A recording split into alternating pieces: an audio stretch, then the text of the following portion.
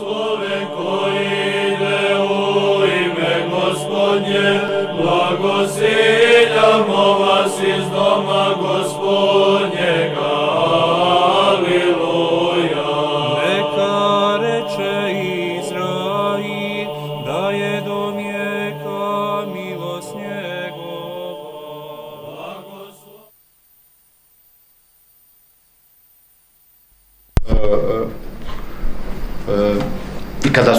Sve ono što je rečeno ovih prethodnih dana, svjedoci smo kako istorija prerasta i prelazi u vječnost, kako, kako je e, svet i živ gospod Bog naš, kao što kaže naš mitropolit, i kako je i on živ s nama i kako nas sa neba gleda i blagosilja i zaista u toj jednoj sinergiji neba i zemlje sve ovo dobija jednu zaista vječnu eskatološku dimenziju, a to je bila jedna od, od omiljenih njegovih tema i e,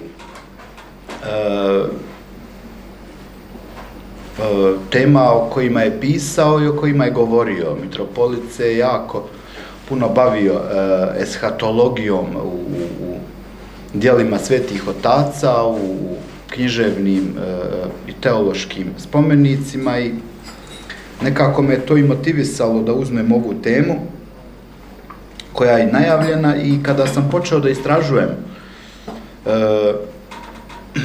mitropolitovo e, e, pisanje e,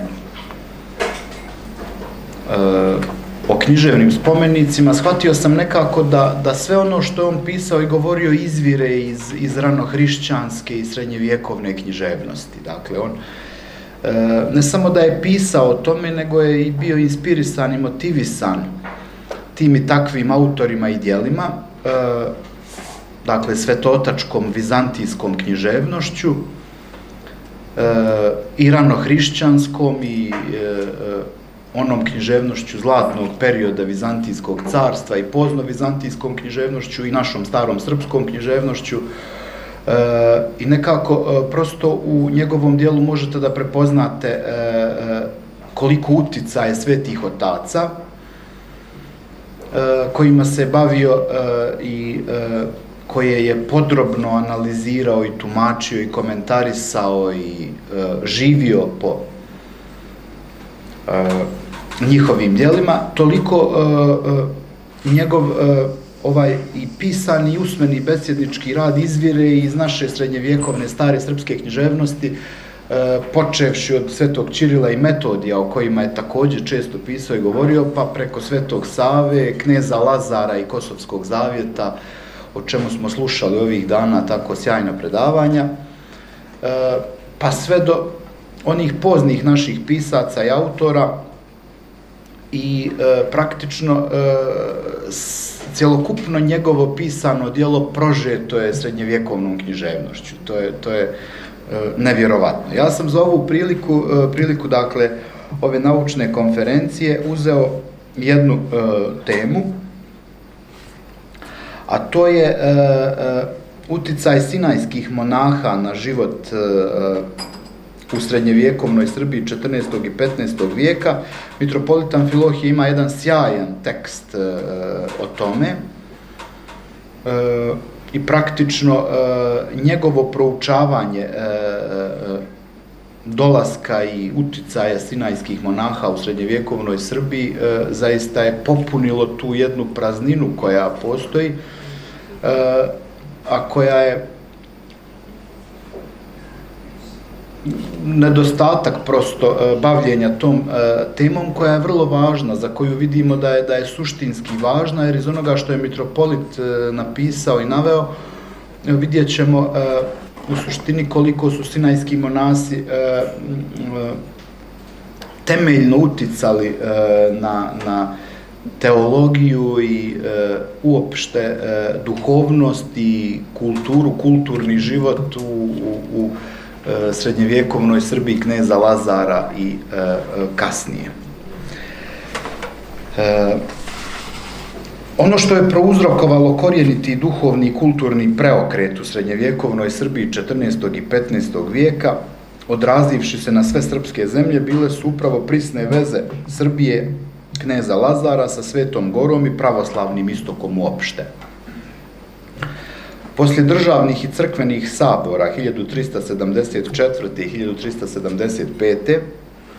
Nakon izbora Isihaste Jefrema za patrijarha srpskog i velike nesigurnosti koja je nastupila porazom u Maričkoj bitci, došlo je do masovnih doseljavanja monaštva u Srbiju i to ne samo sa Svete Gore, nego i iz drugih monaških centara. Monaške seobe i politika kneza Lazara i njegovih nasljednika doprinijeli su da u jednom kratkom vremenskom periodu niknu brojna duhovna središta koja su nadahnula cijele oblasti svojom blagotvornom i preobra, preobražujućom energijom. Ko su bili, odakle su pristizali ti monasi, došljaci, čuvari svetih vrlina? To su upravo bili oni smireni podvižnici koji su se u narodnom pamćenju i predanju sačuvali bar na tlu Moravske Srbije, gdje ih je bilo najviše pod nazivom Sinaiti. Brojni manastiri u Moravskoj Srbiji i pustinjska mjesta čuvaju njihove mošti i sveta predanja o njima. Blagodareći njihovom skrivenom i smirenom načinu života, mnogima od njih ne znamo ni porijeklo, niti ime. Nekima je narodno predanje zapamtilo ime i mjesto pogrebenja. Sačuvano je samo puno žitije prepodobnog Romila Ravaničkog i nešto više istorijskih podataka, ali ne uvijek sigurnih o prepodobnom Grigoriju Sinaitu mlađem, piscu Romilovog žitija.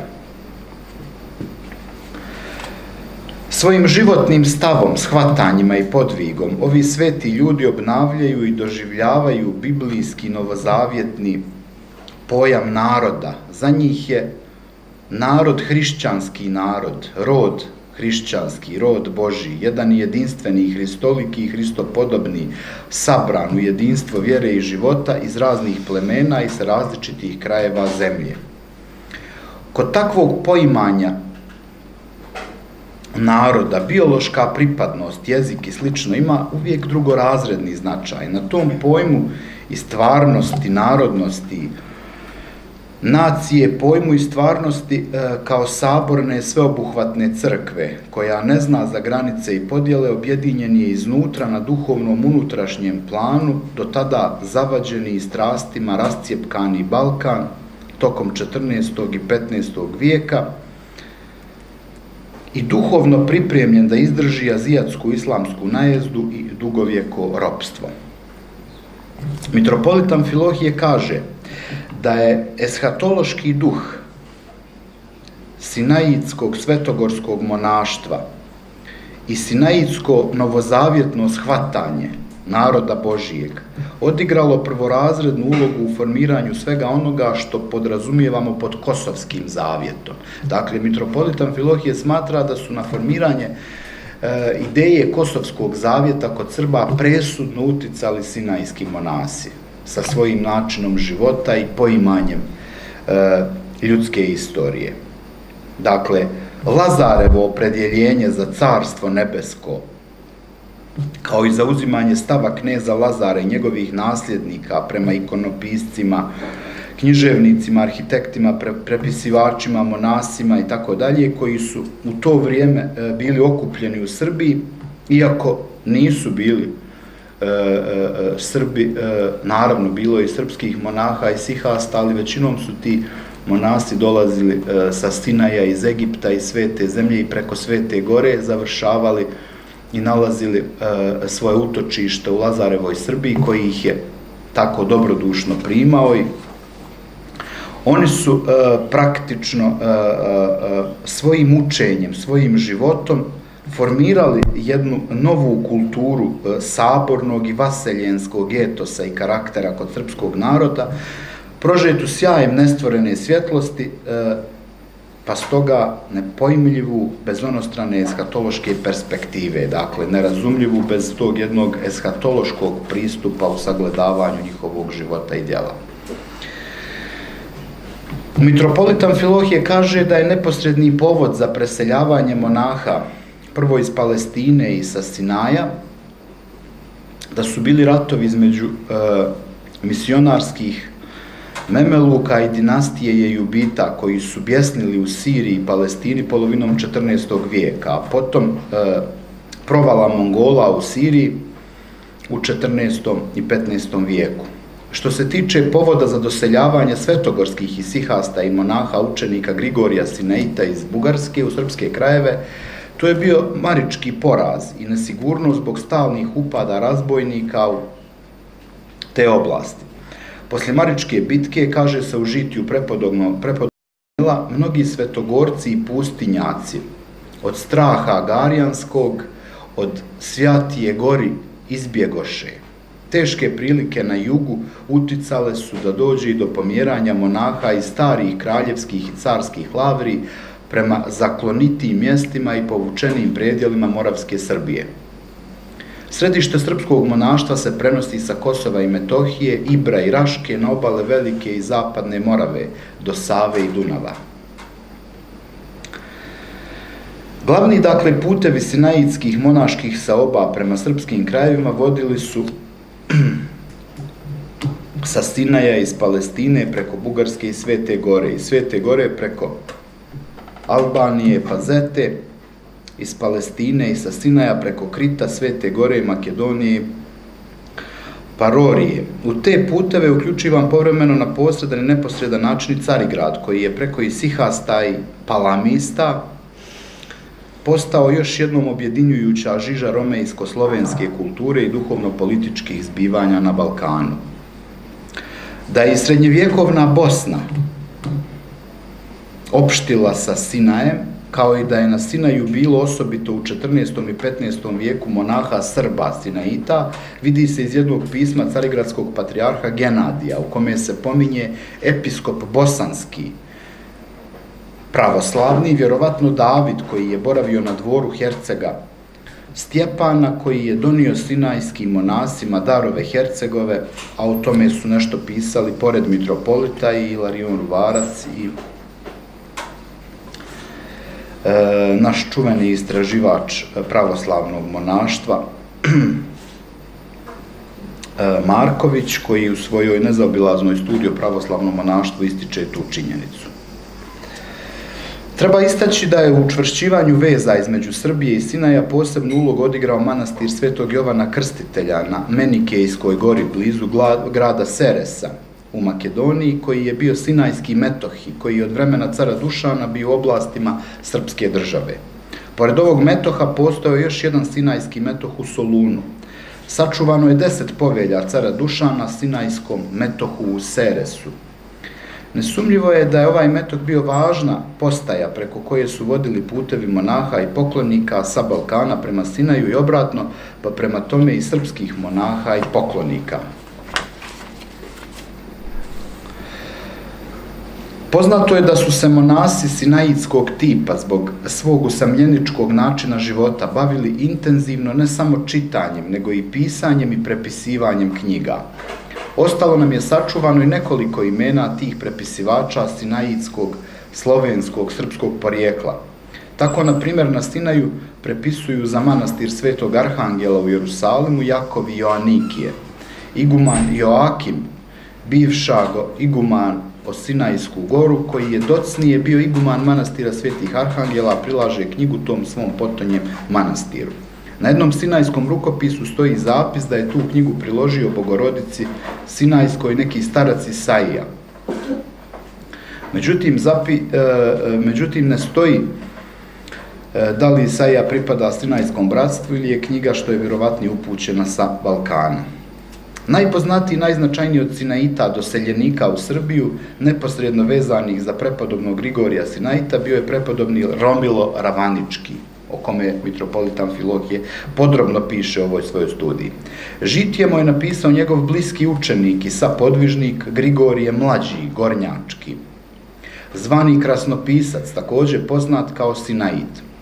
Pored ove dvojice, među Sinaite ubrajamo Inoka iz Dalše, Kir Siluana, patrijarha srpskog Jefrema, pustinjaka, Andonija Rafaila Epaktita, Grigorija II. Sinaita, Andreja Sinaita, Sisoja Sinaita, Martirija Sinaita, Zosimu Sinaita, čije mošti se nalazi u manastiru Tumane, e, čudotvorne mošti Danila Sinaita, Vavila Sinaita, Romana Sinaita, Nestora Sinaita, Dionisija Sinaita, Jova, Inoka Germana, Nikolaja, Stevana, Radoslava živopisca, Nikodima Tismanskog, Joannikija Devičkog, Atanasija Meteoritskog, Joasafa Meteoritskog, Atanasija i Petra i nekoliko bezimenih anonimnih sinaita. Vidite koliko je mitropolitan Filohije pronašao tih e, monaha, njihovih imena, e, nažalost nekima se ni za grob ne zna upravo zbog njihovog e, skromnog i podvižničkog života, jer nisu željeli prosto da se o njima bilo šta zna i da se ističu u narodu među braćom svojom vrlinom, ali je naravno crkva i narodno predanje zapamtila njihovu svetu vrlinu, njihov podvig i eto, ostali su upamćeni i vidimo da je e, mitropolitov doprinos ovoj temi zaista veliki jer je e, pronašao sva ta imena i istražio e, ponešto što se moglo istražiti o njihovom životu. Ti ravaničani monasti Sinaidskog duha. U mnogome su doprinijeli crkvenom proslavljanju kneza Lazara nakon Kosovske bitke, svojim pohvalama, službama, žitijem, pisanim u duhu Sinaidskog isihazma. U tim pohvalama već počinje kosovski poraz da se slavi kao Lazareva slavna pobjeda i primanje mučeničkog vijenca. Istorijski događaj se tumače u svjetlosti metaistorijskog, carstva nebeskog, Istorijska horizontala se osmišljuje eshatološkom vertikalom, logikom krsta, golgote i vaskrsenja.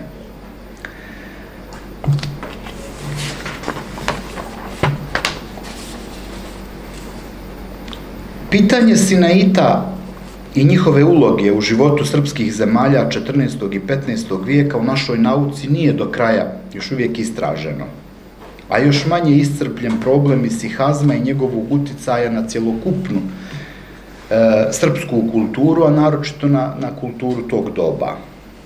Nije slučajnost poštovanje koje gaji narodno predanje prema ovim svetim ljudima. Svojim životom i duhom izuzetne vjere i samopožrtvovanja, a istovremeno skrivenog molitvenog življenja, oni su se duboko urezali u narodno kolektivno pamćenje. Postalo je jasno i to da je pokret Sinaita bio mnogo obuhvatniji i širi nego što o tome govori narodno predanje, koje manje više njihov broj svodi na sedam Sinaita. Pored njihovog velikog značaja za obnovu monaštva i duhovnog života u srednjevjekovnoj Srbiji 14. i 15. vijeka, obnovu i reformu liturgijskog života, književnosti i pravopisa, njihovog izuzetnog doprinosa za buđenje dubljeg crkvenog, liturgijskog samosaznanja i za prenošenje i oživljavanje kod Srba autentičnih ikonopisačkih i bogoslovskih iskustava, pored povezivanja pravoslavnih naroda preko ličnih komunikacija i vaskrsavanja u samosvijesti naroda nepatvorenog hrišćanskog poimanja nacije, pored svega toga izuzetno važnog da posebno istaknemo na kraju ono što se je pokazalo naročito spasonosnim u vremenima robovanja po Turcima. Doprinos Sinaita i Sihasta uopšte u buđenju osjećanja za dublju dimenziju istorije i svih istorijskih zbivanja. U vremenu kada je došlo do potresa svih zemaljskih vrijednosti i svih zemaljskih centara, kada su se i strukture same hrišćanske vaseljene poljuljale, Pojavili su se ovi nosioci u pustinji prosvjetalog optimizma i sa svojim pustinskim eshatološkim poimanjem istorije, sa svojim neprolaznim osjećanjem i iskustvom carstva nebeskog u ovozemaljskom, otkrili su hristološku potku istorije i neprolazni smisao svega onoga što se u istoriji zbiva.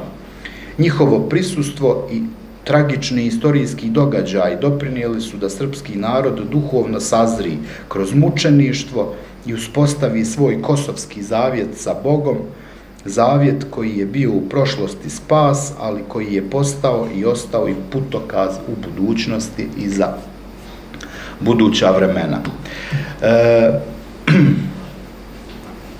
ja bih e, e još na kraju dodao I to da, da jednostavno e, e, iz ovog uvida, e, hvala, mitropolita Amfilohija u život i rad e, sinaitskih monaha vidimo u stvari koliko je njihov e, zalog za budućnost ogroman, neprocjenjiv, koliko uspostavljanje Kosovskog zavjeta kao jedne teme u srpskoj istoriji i kulturi važan za, za očuvanje te zavjetne svijesti kod našeg naroda, jer se pokazuje evo da se ta svijest, hvala Bogu, opet e, e, zahvaljujući našim velikim ljudima poput mitropolita Amfilohija i patrijarha Pavla i vladike Atanasija obnavlja evo na početku 21. vijeka i zahvaljujući onim temeljima koje su oni udarili e, E,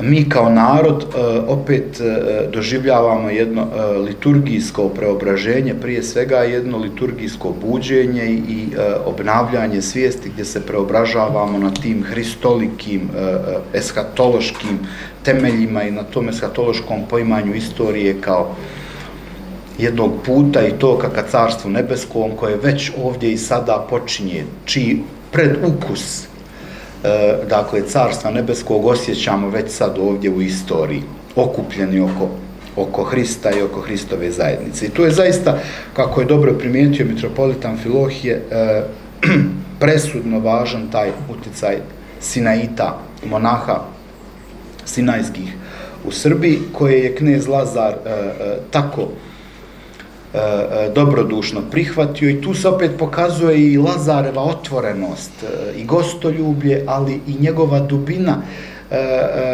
da shvati pojmi značaj tih ljudi, bez kojih u suštini ni naša kultura, ni istorija, ni, ni svi ti tokovi od tog vremena ne bi bili sigurno isti da nije bilo tih ljudi e, e, među Srbima. Oni su, evo kako kaže i mitropolit, presudno uticali na formiranje Kosovskog zavjeta i na poimanje e, e, istorije kao jednog predukusa carstva nebeskog, gdje mi već ovdje postajemo djeca Božija i pripremamo se kao u nekom uvodnom poglavlju za, za onu vječnost koja nas čeka i koju nam je gospod pripremio. E,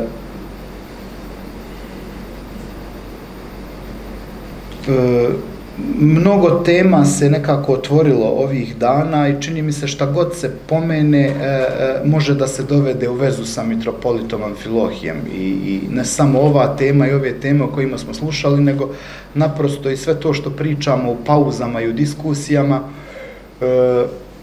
jeste nešto što e, e, njegovom e, ličnošću. Prosto on je, on je utkani i protkani u sve te teme i nevjerovatno mnogo stvari bi se moglo pričati i govoriti i svega toga pokazuje je mitropolitan Filohije bio jedna svestrana, sveta, kosmopolitska, vasionska ličnost, ali e, da ne dužim i da ne oduzmamo dragocijeno vrijeme drugim sagovornicima, ja ću ovdje završiti, pa možemo onda u kasnijoj diskusiji još e, o nečemu da pričamo, ako budete eventualno imali neka pitanja, ja sam otvoren za njih. Hvala.